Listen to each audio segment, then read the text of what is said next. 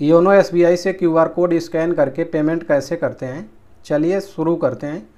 सबसे पहले YONO S को ओपन करेंगे।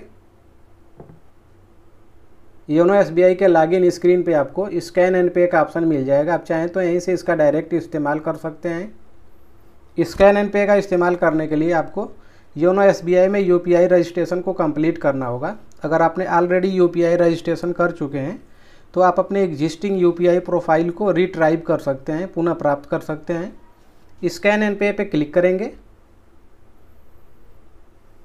यहाँ पे आ जाएगा क्रिएट रिट्राइव यू प्रोफ़ाइल यहाँ से आप यू पी को क्रिएट भी कर सकते हैं और अपने यूपीआई प्रोफ़ाइल को रिट्राइव भी कर सकते हैं। इस पर क्लिक करेंगे। और यहाँ पे एम पिन इंटर करेंगे।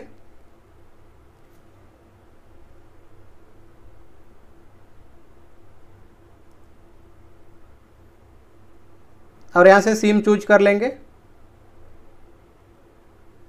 एक बार अपने यूपीआई प्रोफ़ाइल को वेरीफाई कर लेंगे।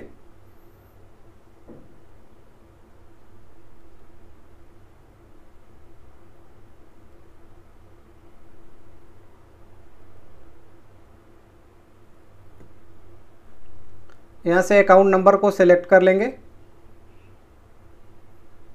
और इसको नेक्स्ट कर लेंगे।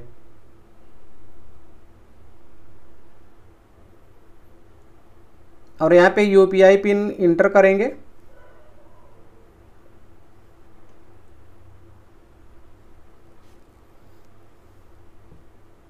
और यहाँ पे आ जाएगा you have successfully verified UPI PIN इसको ओके okay कर लेंगे। अगर आप चाहें तो स्कैन क्यू आर पे क्लिक करके आप क्यू आर कोड को स्कैन कर लेंगे, या फिर हम इसको बैक कर लेते हैं। स्कैन एंड पे का डायरेक्ट इस्तेमाल करने के लिए स्कैन एंड पे पे क्लिक करेंगे। और यहाँ पे अपना एम पिन इंटर करेंगे।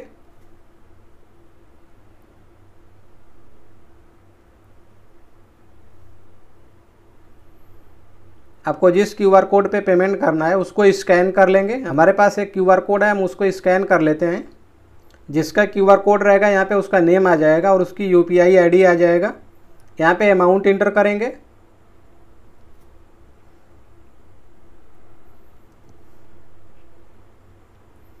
और नीचे नेक्स्ट पे क्लिक करेंगे।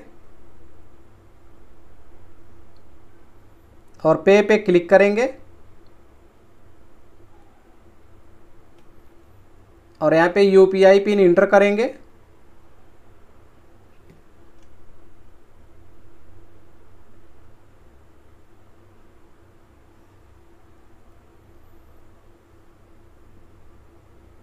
और यहाँ पे आ जाएगा कंग्रेचुलेसन्स सक्सेसफुली ट्रांसफर्ड अब आपका मनी जो है सक्सेसफुली ट्रांसफ़र हो गया है। दो, दोस्तों इस तरह से आप योनो एसबीआई से किसी को भी क्यूआर कोड स्कैन करके पेमेंट कर सकते हैं। दोस्तों वीडियो अच्छा लगे तो लाइक करिए कमेंट करिए एंड साथ ही साथ चैनल को सब्सक्राइब कर लीजिए। Thanks for watching